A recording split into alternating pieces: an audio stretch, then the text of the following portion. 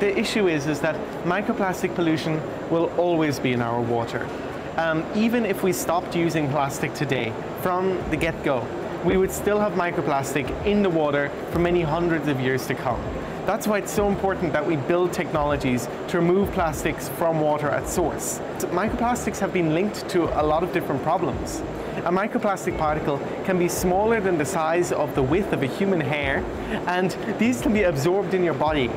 It's not just the plastic that's harmful, but also the chemicals that it brings with it. And that's really worrying, and that's why I care about this problem. So I've developed a new method to remove microplastic particles from water. Basically this method uses a mixture of vegetable oil and magnetite powder to make a magnetic liquid.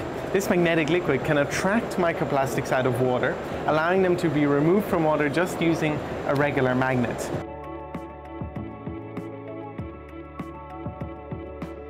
I really have built a device that can take continuous flow of water, so water going in and coming out, which could be built in a pipeline to clean water.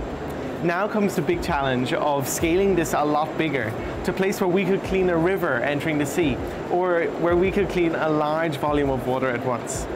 That's what I'm working on.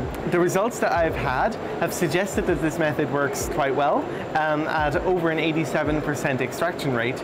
And we've also seen some really, really good results for um, different types of plastic that are commonly found in the water sources.